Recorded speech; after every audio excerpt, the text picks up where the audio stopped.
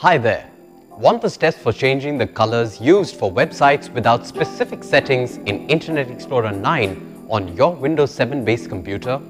Well, I'm here to help you do just that. At iYogi, we want to help you with your technology related questions. You have the option to specify the foreground as well as the background colors that are used to display web pages.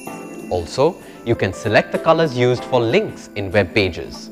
So, here's how you can change the color used for websites without specific settings in Internet Explorer 9 on your computer. Follow me. Click on the Start button.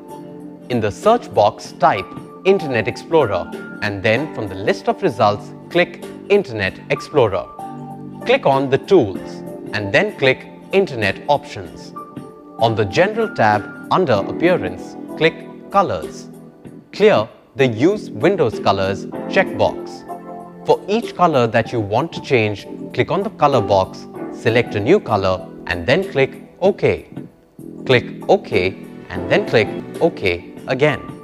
So, you see, with these steps you can change the color used for websites without specific settings in Internet Explorer 9 on your Windows 7 based PC in an easy manner.